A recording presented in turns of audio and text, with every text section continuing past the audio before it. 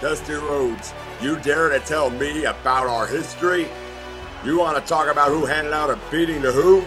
How many times have we met for the world title, and how many times have you walked away with it? I like my odds. You see, big man, you are the son of a plumber. You are the people's champion. I am the world's heavyweight champion.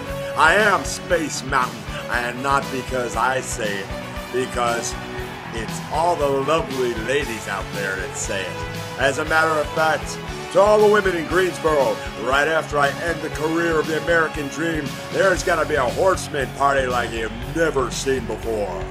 And while none of you can be the first, a few of the fortunate ones can be the next to ride. Woo! Space Mountain.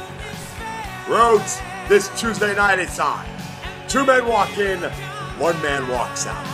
When it's all over and done, you will know why I am the jet flying, limousine riding, kiss stealing, wheeling, dealing son of a gun who happens to be the world heavyweight champion. Diamonds are forever, and so are the four horsemen.